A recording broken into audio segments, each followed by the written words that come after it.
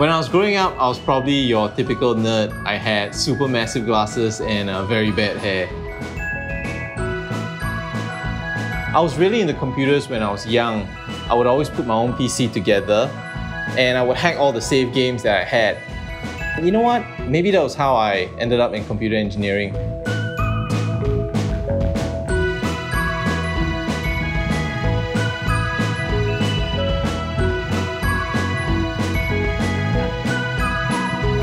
Engineering is about bringing ideas to life. An engineer's mind works very differently from a normal person's. Most people look at a game and they notice the visuals, they notice the artwork, but there's really a lot of technology behind all of that. And it's engineering that brings all of this to life. How do you simulate rain? How do you make cloth or fabric flow realistically in an environment? How do you bring an AI character to life? We create algorithms for all of these things. It's my job to explore and push the boundaries of these technologies. Game programming is at the front edge of technology. The competition will always want to outdo you. What all companies want to do is they want to cram as much as they can into a single product. Memory, speed, graphics, you know, they want to put it all together. Say this cube.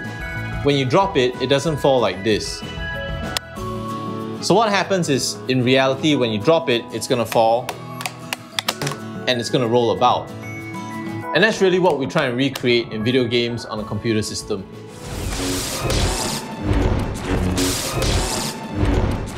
The games industry is always evolving and it evolves very, very quickly.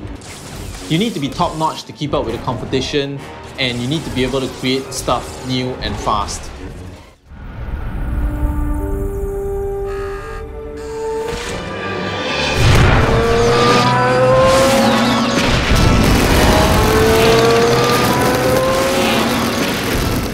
What games do is they let you experience what you might not be able to do in real life. I remember when we were making a car racing game, we literally went down to a racetrack and we did a couple of laps in a go-kart. It's all about recreating the sensation of flying or driving without the complexities of you learning how to fly or drive. A lot of people think that engineering is dry and boring. I really felt the same way as well when I was in school. It was only when I started working and started applying all these theories that everything came together. And that was when I wish I had paid more attention in class.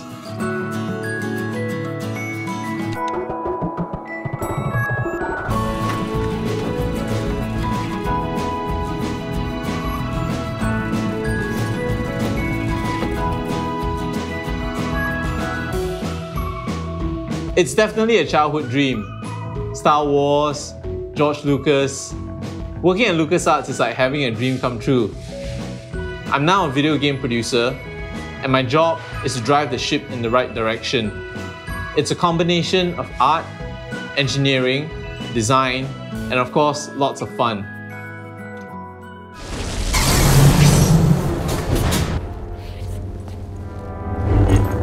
Vader can't stop me now. Nothing can.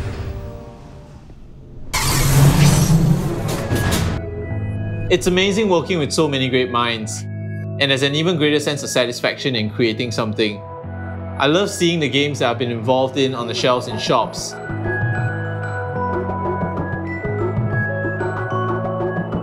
It's good to know that your work impacts the lives of so many people. That feeling that your game is going to be played by someone whom you'll never see or meet in this lifetime. It's fantastic.